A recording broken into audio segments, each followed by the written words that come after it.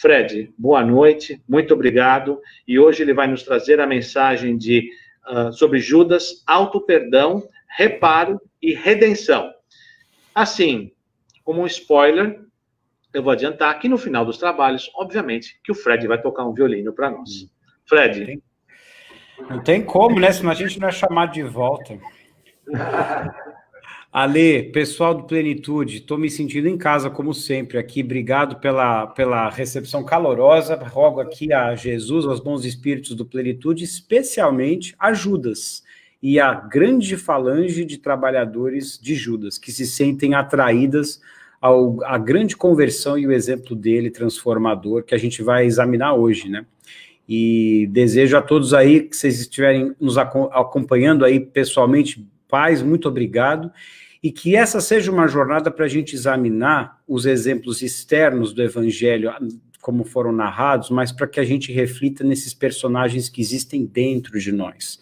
Não para a gente projetar o que a gente fei tem feito por milênios sobre um, sobre um tema num palco que acontece lá fora, que é a a saga do Evangelho, mas para que a gente traga para dentro e examine os arquétipos, as forças e os ritmos que estes personagens também representam dentro de nós.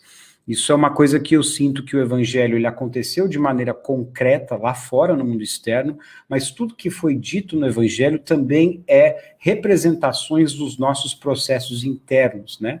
Então, vamos examinar e, e viajar nesse grande exemplo de Judas, que é um grande exemplo, é, nos refletindo nele, nos, nas, nas forças e nas situações que ele passou, que representam as que a gente também passa quando a gente está na nossa vida. Essa é a ideia de hoje.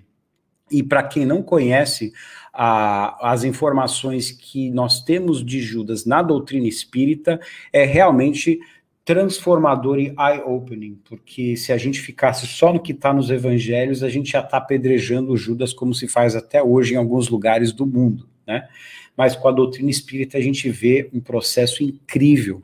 E eu gosto de ressaltar aqui no começo que a gente vai pegar três textos, o Boa Nova, do Humberto de Campos, o Crônicas de Além Túmulo, também do Humberto de Campos, e um poema de uma poeta uh, do Nordeste do Brasil chamada Maria Dolores, que em 1968 é, escreveu em espírito, psicografou para o Chico, né? O, o, Chico recebeu um livro chamado Coração e Vida, com contos, com poemas e histórias belíssimas. Então são esses três textos que a gente vai tecer um fio assim condutor para ver a história do Judas, examinar como isso também se reflete em nós e no mundo externo hoje em dia, tá? Bom, para quem não conhece, só rapidinho, o que é muito bacana do Humberto de Campos e a parceria que ele tem com o Chico é que três meses depois que ele desencarna, gente, mal deu tempo para o corpo começar a se decompor lá na, na, na tumba, ele já aparece para o Chico para começar a trabalhar. Isso, para mim, a gente mostra uma maturidade espiritual e um preparo dele incrível, né? Não ficou lá no hospital, em convalescência. Ele, três meses depois, já apareceu para o Chico: vamos escrever os, os, nossos contos jornalísticos aí, que era, ele era tão famoso. Em 15 livros, mais do que André Luiz em termos de livros, ele escreve através do Chico. Então é impressionante a, a, a importância dele aí na obra do Chico. Né? E o Boa Nova a gente tem felizes notícias aí de que parece que vai ser publicado no que vem a versão em inglês, oficialmente pela FEB, Good News. E é um livro que, quem não conhece, é transformador, porque a gente entra nos bastidores de cenas cruciais do Evangelho e a gente vê que Humberto de Campos traz para a gente o que estava acontecendo naquele dia antes com os discípulos ou com a multidão, que fez com que Jesus chegasse nas parábolas ou nos exemplos que a gente vê textual nos evangelhos, então ele expande o contexto para a gente compreender melhor o porquê daquelas, daqueles ensinamentos. E tem certas partes que ele também preenche lacunas completas, como é a, a história do Judas, né? Vocês vão perceber que a gente vai começar falando da, do Boa Nova. Eu não vou ler todo, porque é, é muito grande, mas vou pegar trechos e ler para a gente entender que o que a gente vai ler no capítulo 24 do Boa Nova depois vai ser refletido no Crônicas de Além Túmulo, do Humberto de Campos, só que assim, 20 séculos depois, porque ele encontra com Judas em 1935 no plano espiritual, e Judas vai contar a versão dele da história, das boca, da própria boca dele. O que, que não apareceu nos evangelhos, o que, que não foi escrito pelos apóstolos e os evangelistas nos evangelhos, e ele vai então dar aquele complemento para a gente entender. E um Judas espírito já muito mais evoluído e maduro, né? já com todo o seu processo de auto-perdão, reparo e redenção. Bom, a gente começa com essa cena, que, para quem não sabe, é uma cena que expressa o famoso Domingo de Ramos. Você vê as folhas de ramos, que é no domingo que precede a sexta-feira da crucificação de Jesus. E é um momento muito interessante, porque é profético, ele entra montado nesse jumento de acordo com as profecias do Antigo Testamento que ele ia ser recebido como um rei, né? E o que é interessante dessa cena é o estágio, o estado contagiante de euforia da multidão. Só que o que é legal é vocês perceberem os olhos de Jesus neste neste quadro, nessa pintura que também expressam a, o estado interior emocional dele. Ele estava simplesmente contemplando aquela euforia com total desapego, destacado, sem se envolver vibratori vibratoriamente com aquele tudo aquele aquela festa. E por que isso? Porque isso era uma coisa fogo de palha. Logo em seguida, por influência do sinédrio, que a gente vai ver essa mesma multidão vai se voltar contra ele e falar para crucificá-lo alguns dias depois, né? Mas o que é interessante a gente notar que isso foi no domingo de Ramos, tá? Mas no dia anterior a isso, na casa de Simão leproso em Betânia, Jesus vai lá com alguns dos apóstolos e lá vai ter alguns personagens. Lázaro, que havia sido já ressuscitado dos mortos, Marta, e Maria, irmã de Marta, e outros e outras pessoas. E os evangelistas eles se diferem um pouco na maneira como isso foi narrado. Enquanto que Marcos e Mateus falam que uma mulher pegou um vidro de alabastro de nardo, que era uma erva caríssima, quebra ele e faz uma unção em todo o corpo de Jesus, João diz que essa mulher chamava-se Maria. Mas ele também não especifica se era Maria, irmã de Marta, Maria de Betânia ou Maria de Magdala. E esse pintor é, usa esse véu vermelho que é simboliza, é um símbolo associado geralmente a Maria de Magdala. Então fica aqui aberto para as pessoas terem as suas próprias conclusões. O ponto interessante para a gente analisar é o contraste entre a força feminina que todos nós temos, não estamos aqui, vamos se prender a gênero de corpo biológico, tá, amigos? Vamos pensar na força, nas, nas potencialidades masculinas e femininas dentro de todos nós. E aqui é um exemplo de o feminino expresso por esta Maria que intuiu e sentiu e aceitou que o Messias ia ser crucificado. E faz um movimento de total aceitação e de prepará-lo para o martírio. O Pastorino, naquela obra-prima Sabedoria do Evangelho, diz inclusive que esse nardo tinha propriedades anestesiantes e analgésicas, que poderia também auxiliar Jesus daqui a alguns dias a sentir menos dor é, na hora do martírio. Então, Jesus vira para as pessoas e, e fala, ela fez uma grande ação, porque João diz que Judas, neste momento, isso é o sábado, tá? Sábado antes daquele domingo de ramos, daquela imagem que a gente vai voltar. Então, no dia anterior, o Judas já estava ali incomodado, já estava muito preocupado de como estava o andamento da, da expansão da Boa Nova, ele não estava gostando. Quando ele vê essa cena, essa cena era muito importante para os judeus, porque era um ritual que preparava uma pessoa para a morte. Então, quando um corpo é sepultado, ele é, ele é todo ungido antes. Então, basicamente, o que Maria está fazendo aqui é condenando, né, de, de certa forma, esse, esse homem para a morte. Ela já está antevendo isso. E ela faz aquilo de maneira belíssima, de maneira super um, de, de, generosa, graciosa. E, e Judas se revolta com os outros apóstolos fala: o que, que é isso? Judas ele segurava o dinheiro, ele tinha a bolsa do cofre, ele estava sempre ali administrando o dinheiro para que pudesse custear as viagens dos apóstolos. E ele olha para aquilo e fala: Meu Deus, isso custa 300 denários, que fala no Evangelho. Vamos supor que é 300 dólares. Podia pegar esse dinheiro e dar para os pobres e vender e tal. Aí quando Jesus vira e fala, mas veja, ela fez algo muito bom para mim, e em qualquer lugar do mundo que essa boa nova for proclamada, vai ficar registrado a boa ação que ela fez. Os mendigos vocês sempre têm entre vós, mas eu não. O que, que ele diz eu não aqui? Ele está falando para eles naquele momento, ó, daqui a pouco, em alguns dias, eu não vou estar mais entre vós. E eu, a, gente coloca isso aqui, pessoal, porque isso é o grande, a grande faísca que vai acender um incendiar Judas, porque ele sai dessa cena completamente escandalizado e revoltado com, com o desenrolar do evangelho. E no dia seguinte, no domingo de Ramos, ele percebe a euforia, o, o contágio e toda a multidão de Jerusalém dando as boas-vindas para Jesus. E ele era muito perspicaz, ele era um homem de negócios, um comerciante, um homem da terra. Ele sabia manipular os poderes e essas forças. Ele vê aquilo e fala: Meu Deus, tá aí uma excelente oportunidade de eu concretizar os meus planos de influenciar os ricos e poderosos para que esse evangelho realmente conquiste as pessoas importantes, as pessoas que realmente valem a pena ouvirem essa boa nova, não esses pobres, esses doentes que a gente vai ver. Né?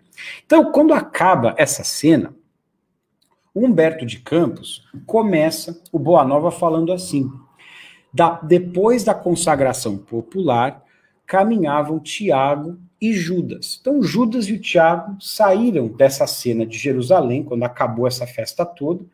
Eles, lado a lado, começaram a caminhar por uma estrada antiga, cheia de oliveiras, que estava ali perto de Betânia, certo? O que é interessante é que o, o Humberto de Campos começa a mostrar o estado de alma de Tiago em contraste ao estado de alma de Judas, tá?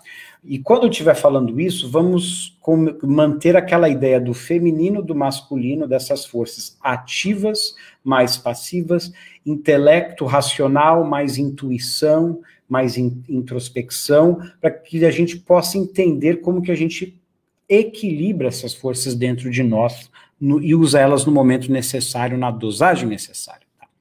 Então, o Judas deixa, deixa transparecer no semblante íntima inquietação. Enquanto o filho de Zebedeu, tranquilo. Aí o Judas começa, o Tiago, você não acha que o mestre é muito simples? Eu estou parafraseando, tá, gente? Senão a gente não consegue acalar aqui. Você não acha que o mestre é muito simples e bom para quebrar esse jugo tirânico que pesa sobre Israel? Aí o Tiago vira e fala: Você pode admitir no mestre disposição destruidora de um guerreiro? É assim que você vê o mestre? Aí o Judas, não, não, não é bem assim, mas eu tenho a impressão que o Messias ele não, ele não considera as oportunidades. Ainda hoje eu tive a atenção dos doutores da lei, e esses doutores da lei me fizeram sentir a inutilidade dessas pregações evangélicas, sempre com os ignorantes, com os desclassificados da sociedade.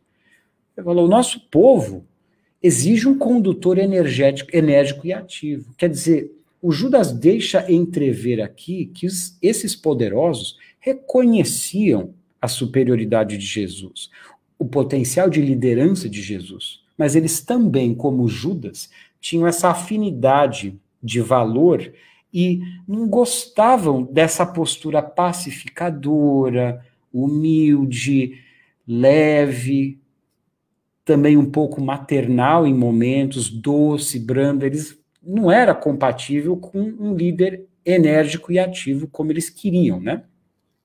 Aí vira o Tiago e fala: bom, mas Israel sempre teve esses revolucionários, né? O Messias vem efetuar a verdadeira revolução, edificando o reino sobre os corações, nas almas. Você vê que Zebedeu já está convidando para uma coisa interna, né? Uma, uma pacificação aqui, um reino aqui e não lá fora. Contraste do externo e o interno. Né? Aí o Judas vira irônico, assim, meio sorrindo, né? tá bom, e fala: bom, mas a gente pode esperar renovações se a gente não consegue o interesse desses homens poderosos? Quer dizer, o Judas está muito focado no externo, muito focado no sucesso político. E ele está tentando convencer o Zebedeu a entrar na dele. Aí o Zebedeu fala, mas poder por poder, quem que é mais poderoso do que Deus? Que, que enviou Jesus, né? O, o enviado divino. Aí o Judas morde os lábios, aqui o Humberto de Campos fala, né? Você imagina o Judas ali está tentando vender o peixe da ideia dele, mas o Zebedeu vem com aquela sabedoria, sabedoria. Aí ele Judas continua: olha, eu não concordo com os princípios de inação. E creio que o evangelho somente vai vencer com, os, com o amparo dos prepostos de César ou das autoridades administrativas de Jerusalém. As duas forças, né? Os políticos religiosos que comandavam a massa e a crença da massa e os dominadores da terra ali, os romanos. Tinha que ter o endorso dos dois. E ele fala assim: Eu jamais vi ele interessado, Jesus, em conquistar a atenção dos homens mais altamente colocados na vida. É certo que de seus lábios divinos sempre brotaram verdade e o amor por toda parte. Quer dizer, Judas reconhece, Judas está ali comprometido com a causa 100%. Só que ele vê de uma perspectiva diferente. Aí ele fala, mas eu só observo leprosos, cegos, pobres, ignorantes chegando ao nosso redor. Aí o Tiago, mais uma vez, vem com aquela sabedoria, né, super, super inspirado em outra frequência, fala, mas ele já esclareceu, é, Judas, com brandura, que o, o, seu reino não é deste mundo, né? Aí o, o Judas, com olhos inquietos, ele impaciente, ele revida com energia. Aí ele fala assim para o Tiago: Hoje a gente viu o povo de Jerusalém atapetar o caminho do Senhor com palmas de sua admiração e seu carinho. Precisamos, todavia, impor a figura do Messias às autoridades da corte provincial e do templo, de modo a aproveitarmos esse surto de simpatia, quer dizer, o timing ali, a oportunidade que o povo está clamando por ele, vamos capitalizar nisso, né? E aí a gente olha para trás, vamos dar um step back dessa narrativa e pensar quando, quando que nós, tomados por euforia, por fervor e por um entusiasmo desequilibrado, a gente tenta convencer as pessoas do nosso ponto de vista, tenta entrar em debates na mídia social, trocando memes e trocando notícias que a gente, a gente às vezes a gente nem sabe a procedência para poder fazer questão que as pessoas vão concordar com a gente e dar a mão à palmatória de que a gente está certo, né?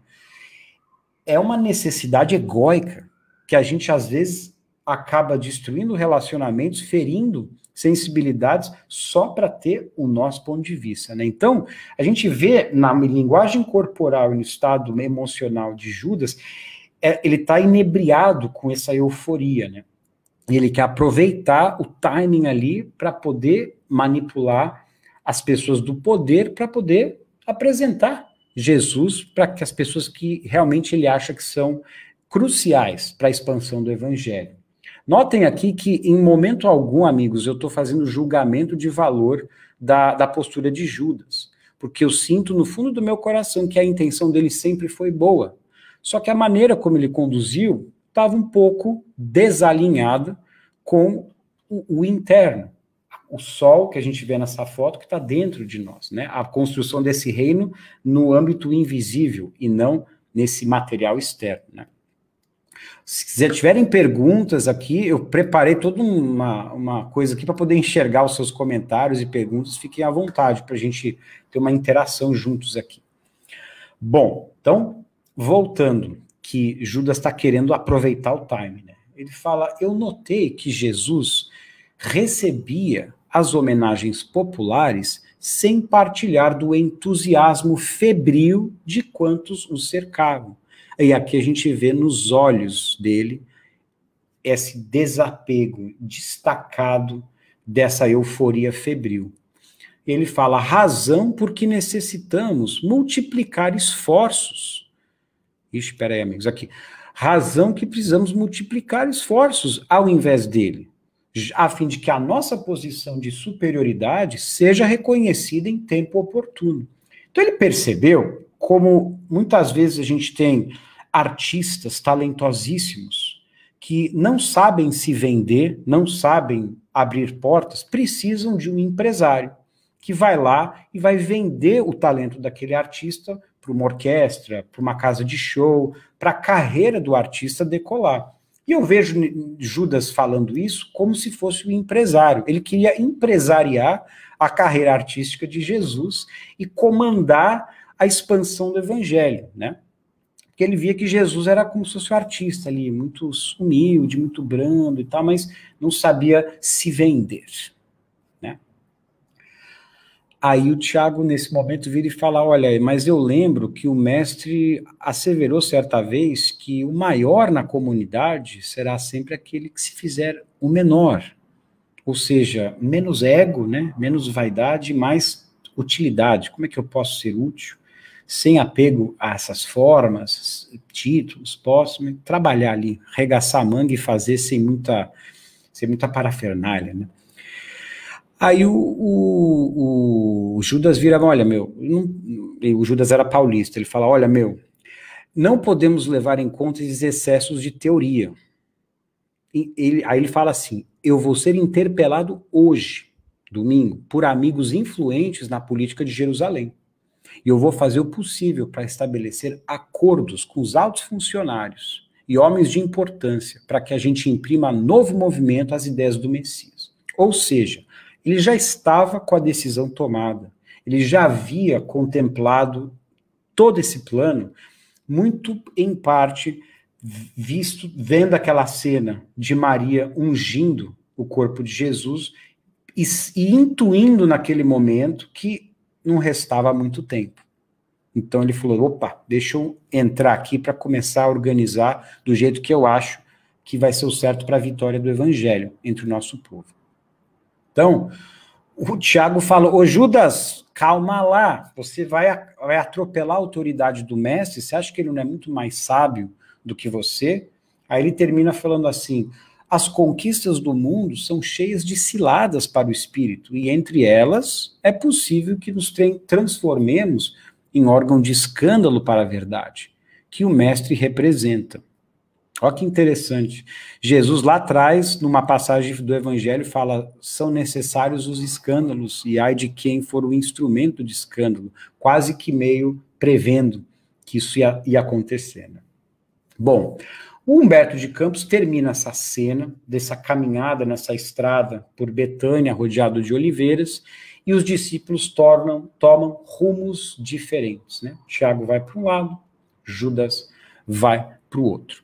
E aí Humberto de Campos conta que o Judas, no final desse dia, no domingo, ele vai dormir e ele, come, ele, fica, ele passa a noite em claro, com angustiosas inquietações. Aí Humberto de Campos narra o, o diálogo mental que Judas estava tendo com ele mesmo. E as considerações. Né? Ele estava raciocinando, dizendo assim para ele mesmo: não seria melhor apressar o triunfo mundano do cristianismo? Israel não esperava um Messias que enfeixasse nas mãos todos os poderes?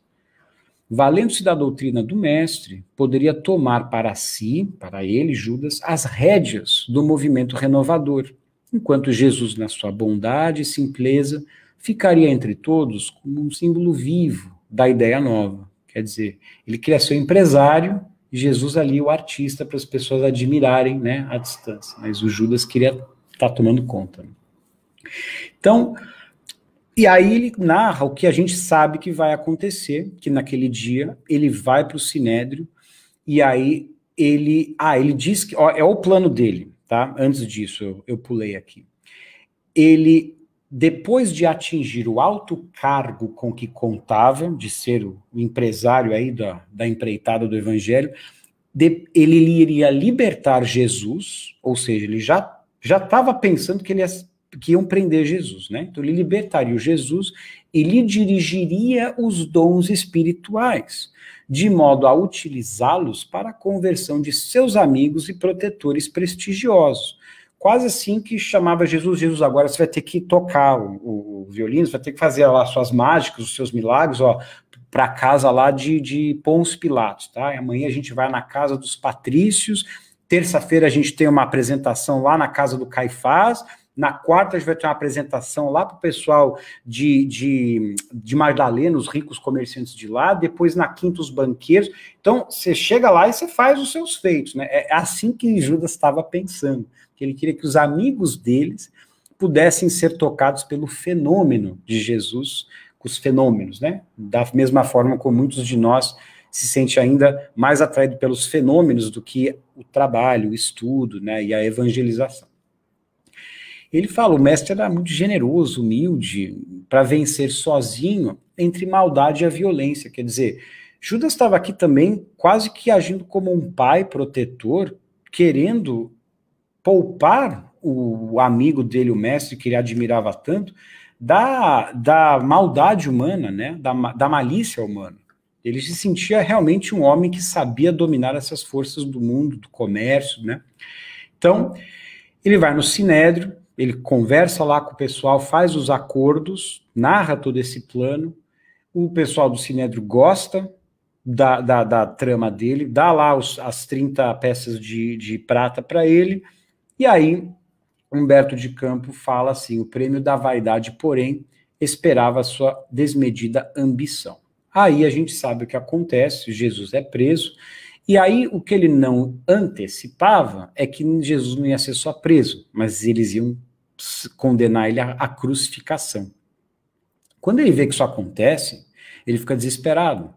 Aí o Humberto fala assim: observando os acontecimentos que lhe contrariavam as mais íntimas suposições, Judas se dirige a Caifás, reclamando o cumprimento de suas promessas. Os sacerdotes, porém, ouvindo-lhe as palavras tardia, sorriram com sarcasmo. Ele vai atrás de outras amizades, tenta fazer todo o possível com as pessoas que ele conhecia. Ele depois, o Humberto fala, teve que reconhecer a falibilidade das promessas humanas. Aí ele, atormentado e aflito, ele sai para buscar os companheiros de fé e os amigos da escola do Evangelho, os apóstolos. Ele encontra eles, eles se veem vencidos e humilhados Pareceu-lhe, porém, descobrir em cada olhar a mesma exprobação silenciosa e dolorida. Você vê a reação dos, dos apóstolos, dos colegas de Judas. Eles não falaram uma palavra de condenação, de raiva, de rancor, mas em silêncio eles sofreram e lamentaram profundamente essa, essa atitude do Judas que levou a esse escândalo da crucificação.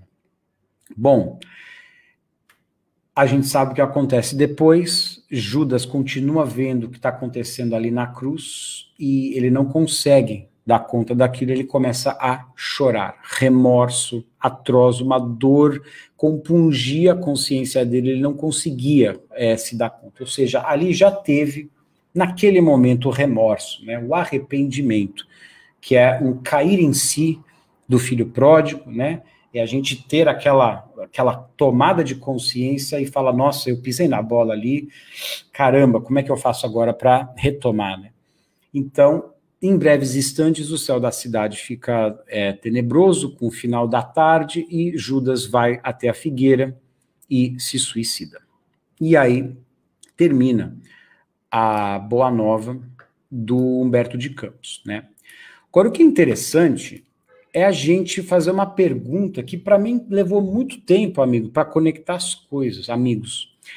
É, o que, que Jesus, Espírito Jesus, fez entre a sexta-feira que ele foi crucificado na cruz e o domingo da ressurreição, quando ele aparece ali materializado para Maria de Magdala. Ele estava onde, né? E o que é legal é que, graças a esse poema da Maria Dolores, que o Chico Xavier é, psicografa, a gente tem esse insight. E olha que bonito. Eu vou fazer o possível para declamar aqui o poema, né, de maneira bela, mas vamos nos transportar na cena de Maria ali cedo, com todas as mulheres do evangelho que estiveram presentes com Jesus, que acompanharam tudo, que tiveram toda uma, uma um carinho, uma ternura para ajudar no processo, e Maria, entre outras mulheres, vai ali de manhã, no domingo, para continuar o, o, o, culto, né? A, o, a adoração e, e, o respeito e o amor que ela tinha por, por pelo Messias, tentando decorar ali com as flores e estar com ele. Bom, a Maria Dolores vai dizer em forma de poesia o que estava, é, é, vai descrever essa cena. Olha que bonito. Bom, a Madalena fora ao túmulo querido, entre pedras de extremo desconforto. Levava flores para o mestre morto. Tinha o peito magoado e enternecido. O sol reaparecia, resplendente. A névoa da manhã fundia-se no ar. Na dourada invasão das flamas do nascente, Maria estava ali, unicamente, a fim de estar a sós recolher-se e chorar. A desfazer-se em pranto, ela arguía: Por que, por que, Senhor? Tanta saudade e tanta dor. Toda a felicidade que eu sentia jaz aqui, sepultada. Transformou-se minha vida em sombra, em nada, no ermo deste pouso derradeiro. Nisso, ela viu alguém Seria um jardineiro? Um zelador daquele campo santo?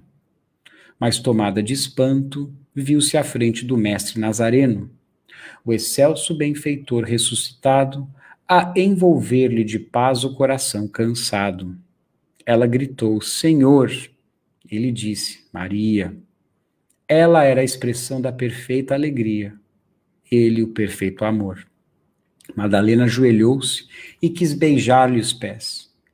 Maria, por quem essa explicou-se, não me toques, porquanto não te esperavas aqui neste recanto, e ainda não fui ao Pai revestir-me de luz. Quer dizer, Jesus não foi ao Pai revestir-se de luz. É interessante aqui, amigos, porque eu tinha a impressão de quando ele fala não me toques por quem és, Impre... Muita, eu já ouvi explicações de que por ela ser encarnada iria tocar na, na materialização de Jesus e a contaminar o ectoplasma. Já ouvi também explicações de que ela, por ser uma pecadora, iria contaminar Jesus e por isso que ele não quer que ela o toque. Que eu, eu pode essa primeira da, da do da ectoplasma pode ser plausível, mas essa segunda eu, eu vejo realmente uma influência do ser, dos homens humanos da Terra que distorceram esse momento do Evangelho para manter um patriarcado né, e uma imposição dos homens sobre as mulheres. Porque faz mais sentido Jesus, pelo tremendo amor que ele tinha por todos os apóstolos, inclusive por Maria, que ele ia abrir-se naquele amor com ela, e por ter estado em lugares que a gente vai ver agora muito mais pesados, talvez a frequência e a energia dele pudessem afetar ela. Então, por, por isso que ele fala: não te esperavas aqui neste recanto, e eu ainda não fui ao Pai revestir-me de luz. Aí Maria, surpreendida, indagou em seguida: Senhor, onde estiveste?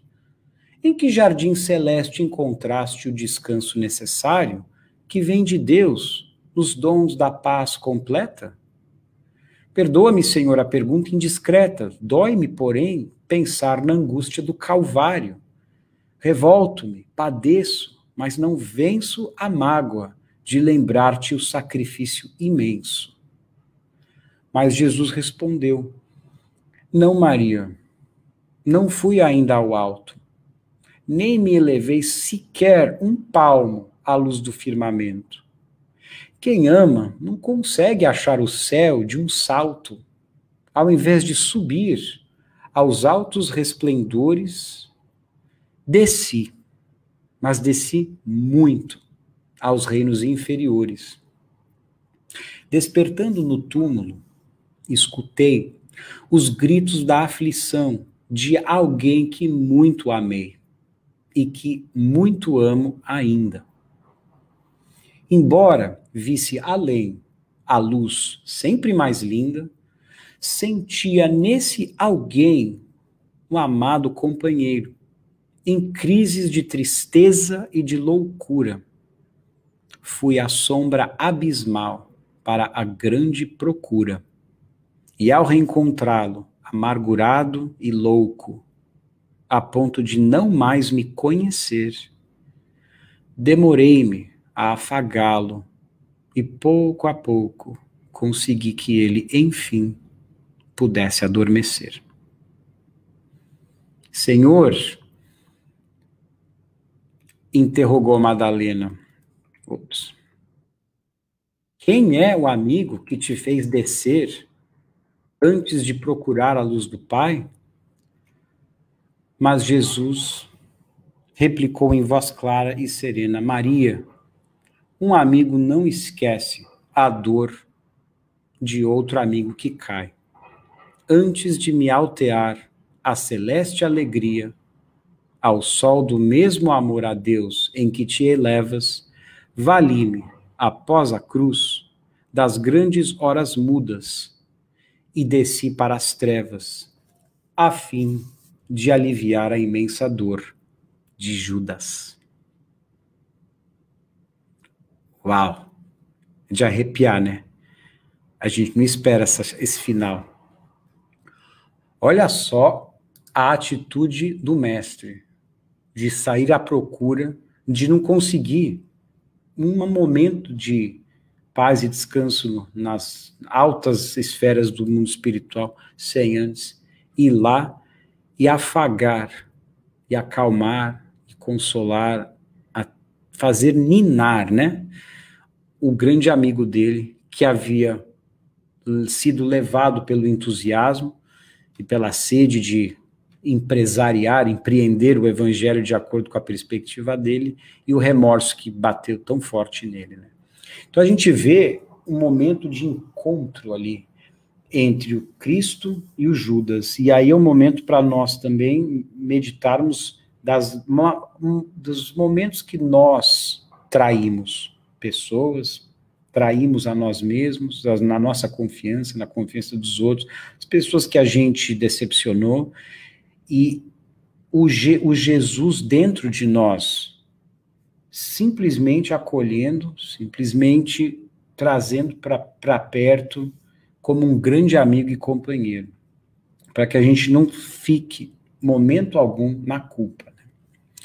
Então a gente vê como é belo esse encontro que Jesus tem assim que ele expira na cruz. E aqui, como eu estou falando muito, eu vou, antes da gente fechar com a última leitura, eu vou, eu vou ter um, convidá-los a gente ter um momento aqui de experiência, de sentimento, de visualização, e nos sentirmos abraçados pelo Jesus dentro de nós, e que vocês possam ser também levados pela alegria dessa melodia que eu vou tocar no violino, para a gente daí ver o que acontece com Judas depois disso no futuro, tá? Então, eu não vou dizer o nome da música, mas se o GG tiver aí, eu tenho certeza que ele sabe qual é a música e muitos de vocês brasileiros que é, estão no Brasil há muito tempo, talvez vocês saibam que música que é, tá? Se quiserem cantar em voz alta aí, ou até encantar no, no coração, para a gente sentir a música.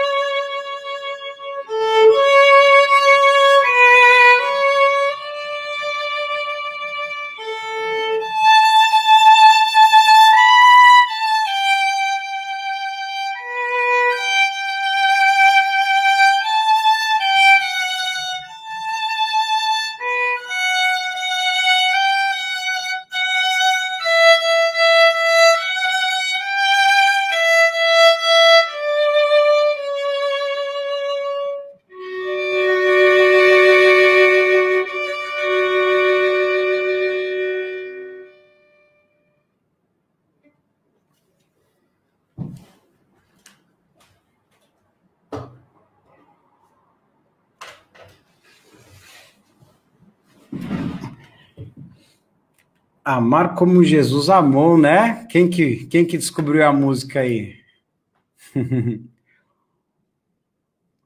Bom, amigos. Até aí, vocês continuam me ouvindo, né? Tá, tá tudo certo aqui no microfone, tá.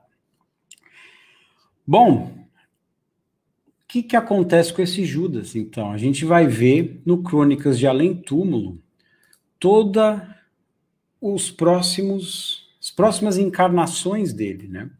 O que é bonito é que Humberto de Campos, em 19 de abril de 1935, que é a época de Páscoa, né? Ele vai para uma Jerusalém ali, que ele vê que é uma Jerusalém no tempo, né? Ele diz que os espíritos podem vibrar em contato direto com a história. Buscando uma relação íntima com a cidade dos profetas, procurava ele observar o passado vivo dos lugares santos. Então, ele está descrevendo que ele vai para Jerusalém, no plano espiritual daquela época. Ele diz assim: nas margens caladas do rio Jordão, não talvez longe do lugar sagrado onde o precursor batizou Jesus Cristo, divisei um homem sentado sobre uma pedra. De sua expressão fisionômica irradiava-se uma simpatia cativante. Sabes quem é este? Uma voz disse para os seus ouvidos. Quer dizer, Humberto de Campos está ali e ele ouve uma voz que ele não consegue saber de onde é. Quer dizer, talvez o guia dele ou algum espírito numa vibração bem mais elevada. Né? Esse aí é o Judas. Humberto fala Judas. Então, ele chega próximo ali para ver o que estava Judas fazendo. E aí ele diz assim: aquela figura de homem magnetizava-me. Eu não estou ainda livre da curiosidade do repórter, mas entre as minhas maldades de pecador e a perfeição de Judas existia um abismo. Quer dizer, ele vê que era um espírito extremamente evoluído ali, né? Na, na maneira como ele se apresentava. O meu atrevimento, porém, e a santa humildade do seu coração ligaram-se para que eu atravessasse procurando ouvi-lo. Aí ele começa a fazer as perguntas, né? O senhor é de fato o filho de Iscariote? Ele responde sim. Sou Judas, respondeu aquele homem triste, enxugando uma lágrima nas dobras da sua longa túnica. Ele fala: contemplo às vezes esta Jerusalém arruinada, meditando no juízo dos homens transitórios. Aí Humberto vira e faz uma pergunta para ele bem interessante. É verdade tudo quanto diz o Novo Testamento a respeito da sua personalidade na tragédia da condenação de Jesus? Ele responde, em parte. Aí ele mostra que os escribas, Pôncio Pilato, além dos interesses individuais na questão, eles também tinham o cargo de proteger o Estado romano. E, e, e, protegendo o Estado romano, eles tinham que fazer a vontade dos religio, religiosos anciãos judeus. E aí ele fala, é sempre a mesma história, né? O Sinédrio desejava o reino do céu, pelejando por Jeová a ferro e a fogo. Quer dizer, o fanatismo religioso que quer usar o do poder para conquistar as pessoas na marra. Já Roma queria o reino da terra. Ele diz: Jesus estava entre essas forças antagônicas com a sua pureza imaculada. Aí ele fala: Eu era um apaixonado pelas ideias do Mestre, mas o meu excessivo zelo pela doutrina me fez sacrificar o seu fundador. Quer dizer, de uma certa forma, ele também estava cego pelo um fanatismo, né? Ele fala: acima dos corações eu via a política, a única arma que eu poderia triunfar e Jesus não obteria nenhuma vitória. Com as suas teorias, ele queria, não, não queria conquistar as rédeas do poder, já que no seu manto de pobre ele se sentia possuído de um santo horror à propriedade. Planejei então uma revolta surda, como se projeta hoje em dia na Terra, a queda de um chefe de Estado. Né? Vou planejar um golpe aqui. Né? Aí ele disse, ele confessa, o mestre ia passar para um plano secundário, e eu iria arranjar colaboradores para uma obra vasta e enérgica, como a que fez mais tarde Constantino, o imperador, e aí ele fala, inclusive aquilo serviu para desvirtuar né, o cristianismo. Quer dizer, ele mesmo reconhece que essa sede do poder externo acabou desvirtuando a mensagem, né, a maneira como a mensagem foi vista pelas pessoas. Então ele diz: entregando o mestre ao Caifás, eu não julguei que as coisas atingissem um fim tão lamentável. e cheio de remorsos, eu presumi que o suicídio era a única maneira de me redimir aos seus olhos. Então ele está ali contando como é que foi o processo dele que a gente viu Humberto de Campos narrar no Boa Nova. Aí Humberto diz: E aí, você se, se salvou então por esse arrependimento? Ele falou: Não consegui. O remorso é uma força preliminar para os trabalhos reparadores.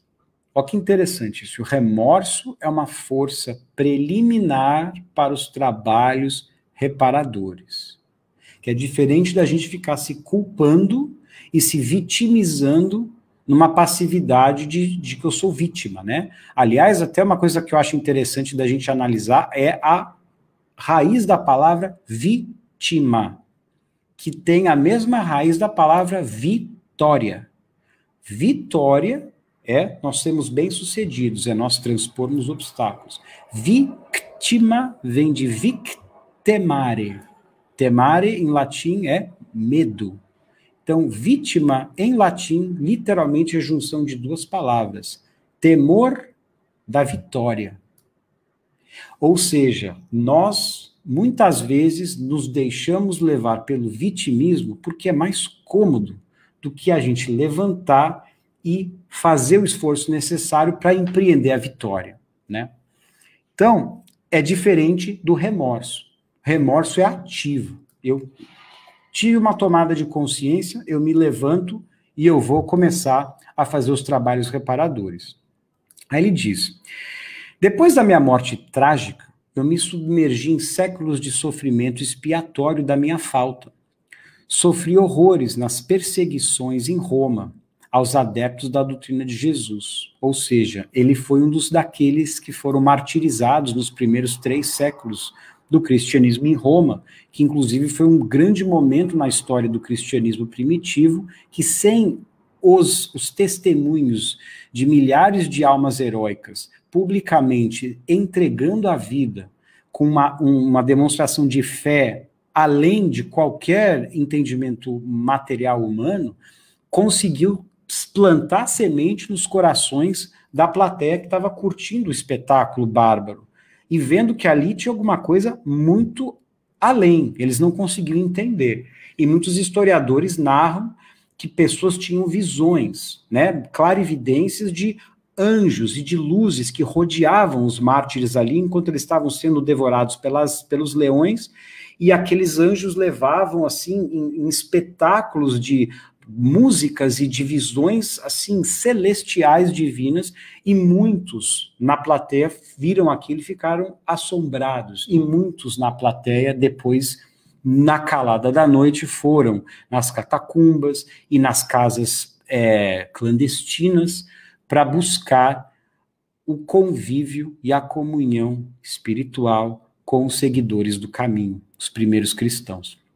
Muito importante, então, a gente vê a, a, a, a, razão desses mártires, né? Então, ele diz que tudo isso culminou numa fogueira inquisitorial. Inquisitorial é Inquisição, né? Muito mais tarde. Aí ele diz, aonde, imitando o mestre, eu fui traído, vendido e usurpado. Ele foi vítima da felonia e da traição e deixou na terra os derradeiros resquícios do meu crime na Europa do século XV. Bom, essa é a cena onde eles estão ali sentados, né, tendo esse bate-papo nesse nessa Jerusalém antiga. E aí a gente vai entender que ele está se referindo a um personagem do século XV na Europa que foi traído, vendido e usurpado.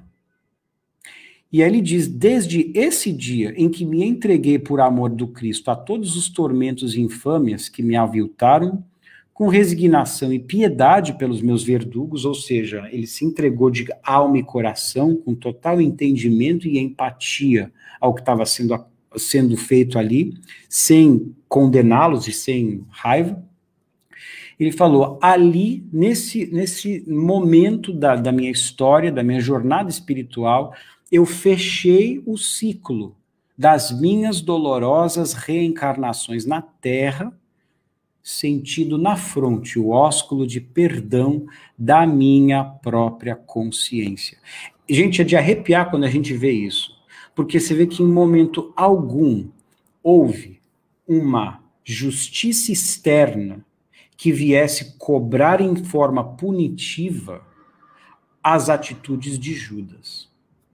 Somente a consciência dele. O próprio espírito dele teve a consciência de ver que ele necessitaria de todo esse processo de reencarnações expurgantes, né, de sacrifício para poder se liberar deste sentimento de responsabilidade que ele teve nesse, na, na, no ato de Judas entregar Jesus à cruz. Então, olha que interessante como ele passa pelas mesmas cenas de traição, ser vendido, ser traído e ser torturado e queimado, muito igual a, a Jesus.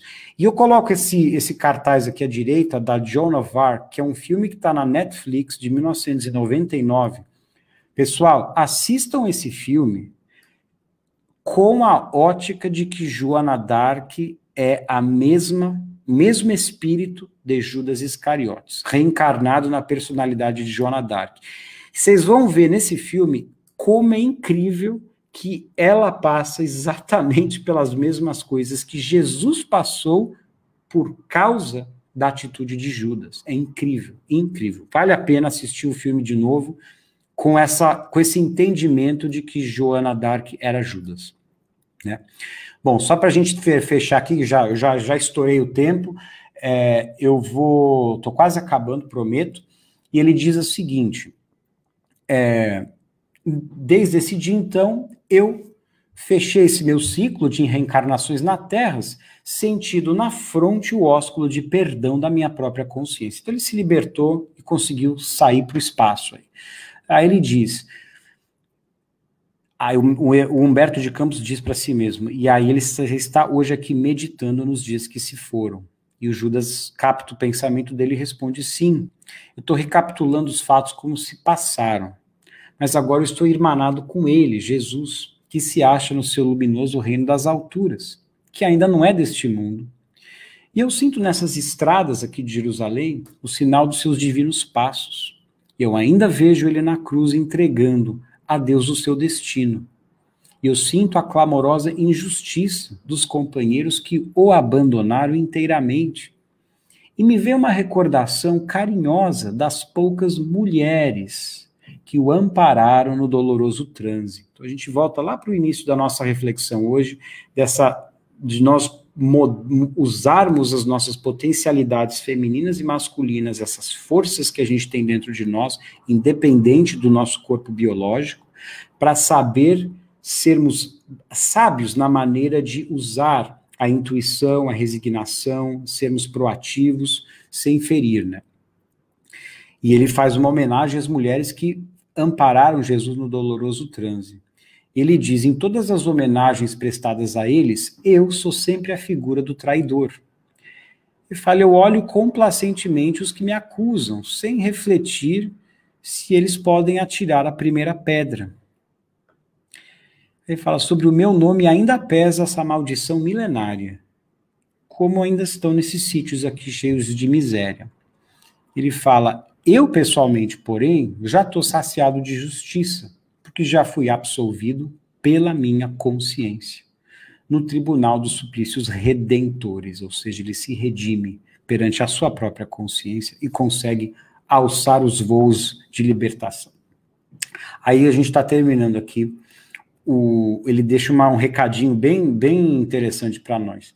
Quanto ao divino mestre, continuou Judas em prantos, infinita a sua misericórdia, e não só para comigo. Porque se eu recebi 30 moedas vendendo ele aos seus algozes há muitos séculos, ele está sendo criminosamente vendido no mundo, a grosso e a retalho, por todos os preços, em todos os padrões de ouro, em todas as moedas, né? Ou seja, a comercialização da fé, o uso da fé para conquistas de poder, de influência, de manipulação, né? E aí entra também um, um, comentário breve sobre nós falarmos, ah, a mediunidade não pode ser remunerada, não pode ser remunerada, mas qualquer trabalho de fé que a gente está usando de ego, de vaidade, de projeção pessoal, não deixa de ser uma maneira de comercializar essa mensagem do Cristo, né?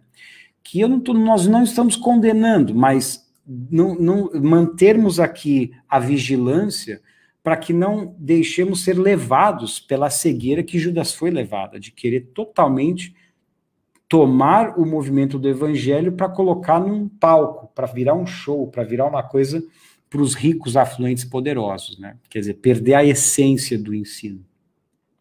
E o, o, Humberto até fala, é verdade, e os negociadores novos aí do Cristo, eles nem se enforcam depois de vendê-lo, quer dizer, nem o cair em si, a tomada de consciência, muitas vezes acontece nessa vida, ainda vai acontecer, talvez no, no plano espiritual ou numa próxima encarnação. Então aqui a gente vê, amigos, a jornada desse espírito que hoje é um grande benfeitor espiritual que está junto à equipe de Jesus, totalmente desconectado por karma a esse planeta, vivendo em planetas totalmente celestiais, com certeza, mas ajudando a nós aqui. E eu acho até muito bonito no movimento espírita de nós sabermos de vários centros e grupos espíritas no Brasil que são chamados Grupo Espírita, ou Centro Espírita, Judas Iscariote. Então, aqui fica um, um para a gente fechar, uma, um convite para que a gente possa chamar por Judas, orar por Judas, especialmente nos momentos onde a gente está indeciso no que fazer, em, em, em, momentos assim muito cruciais de, de caminhos, de pedir a sabedoria de Judas hoje, para que a gente não tome caminhos de ilusão que estão apegados a externo, a ego, a personalidade, a poder, a coisas do, do momento. Por exemplo, a gente está no momento aqui dos Estados Unidos muito delicado de decisão presidencial. E muitos de nós que não têm essa fé raciocinada ou teve a oportunidade de trabalhar a nossa fé, estão em estado de pânico, estão sendo arrastados pela, pela polarização do momento e entrando em depressão, em desespero, em angústia. Seja para que lado político, não importa, mas é um momento para a gente também não se deixar arrastar por isso e sermos os pacificadores que Jesus recomendou que a gente fosse no Evangelho. Sermos aqueles que vão despertar nos outros a harmonia e a perspectiva de que acima desses poderes transitórios, de quem vai ser o próximo César da Roma moderna, quem vai ser os, os manipuladores os, dos poderes e das fortunas, acima de tudo isso tem um Deus eterno, misericordioso e tem dentro de nós essa sabedoria que está ali, só esperando a gente continuar cultivando, trabalhando para ter essas tomadas de consciência, que a gente pode participar de todo esse espetáculo terreno e mantermos a paz que a gente vê nessa nesse lago sereno, deixando a nossa barca ser conduzida por Jesus, para que a gente siga a nossa libertação espiritual. É, Ale, entra aí que senão eu fico até meia-noite falando, meu. Mas olha, eu não vejo ninguém dormindo aqui no salão. Nós devemos ter umas 20, 25 pessoas aqui, não tem ninguém dormindo. Mesmo depois de, da, da sua apresentação, foi fantástica, excelente, Fred. Mais uma vez, obrigado. Muito, muito obrigado. Paz, amigo.